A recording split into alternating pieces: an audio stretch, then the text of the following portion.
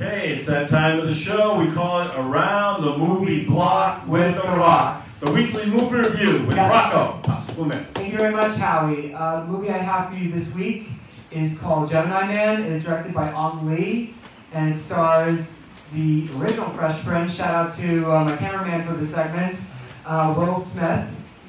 Uh, Will Smith plays Henry Brogan, who is an over-the-hill hitman who faces off against a younger clone of himself. Um, as we've known for several years, Will Smith, the, the constant about Will Smith is the fact that he does movies that are consistently very good ideas. And, you know, when I first saw the trailer for this movie, I thought, wow, this is a good idea. I mean, to uh, count on Will Smith to always come up with interesting ideas for, you know, his, you know, big screen action projects. And this definitely is a good idea. Um, the only thing is a good idea can only take you so far.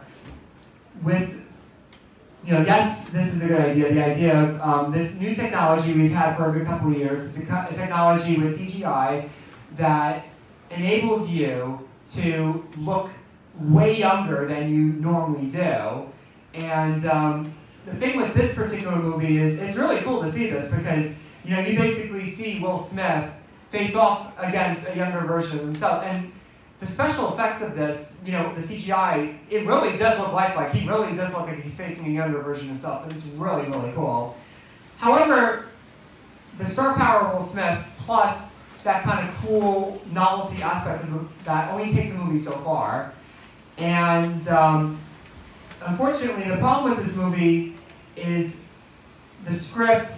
We've seen this kind of plot in a lot of movies, particularly from 90s movies. Um, unfortunately, on the top of that, it's as subtle as a sledgehammer. The movie takes itself so literally that you really don't feel like it has like a sense of depth or a sense of distinction or feeling like, you know, yes, the movie's entertaining. Will Smith is really, really good in it. He, he definitely has that star power still at the age of 51. But the problem is, is that it's, you know, the, the kind of, the plot of this movie is very cookie cutter. We've seen this in a lot of action movies in the past. And regardless of how smart he makes his movies, and he always makes movies that are really, really smart, you know, you have to have movies that are distinct, you know, because we've seen, you know, you can only replicate a formula so many different times. So unfortunately, with that, you know, I mean, regardless of, of every other um, attribute of this movie, it kind of, you know, subtracts from the overall enjoyment of, you know, the whole of the movie rather than the sum of its parts.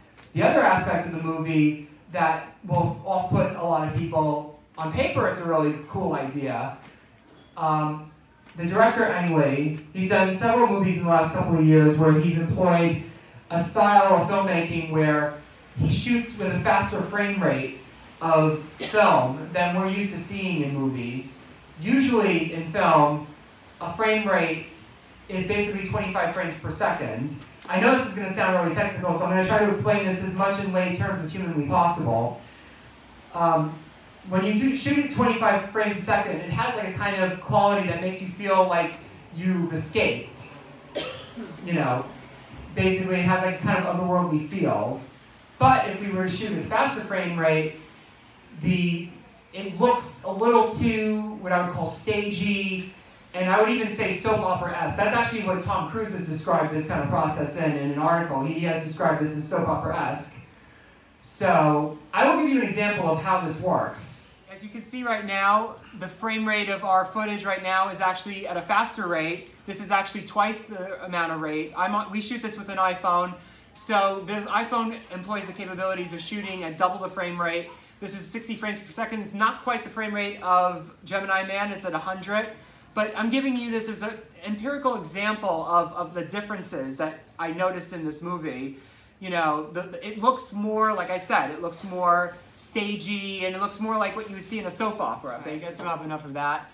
Um, so basically, I mean, that looked a little off-putting to you, like that, the, the way that looks. It looks kind of like it, like a bit out of place for a movie. Usually, we see, we used to seeing movies at a slower frame rate, which makes it feel more like you're in another world. You don't really get that with, with a frame rate that fast, and that's sort of the glaring, you know, off-putting aspects of this movie on top of, you know, the script and all that. So unfortunately, overall, the uh, this movie you know, as much as like I feel like Will Smith always tries to do innovative ideas when it comes to movies, unfortunately, like I said, an idea is not you know is only good enough when you have a you know you have a you know a movie that is distinct enough and um, you know it has that kind of level of you know what have I seen before.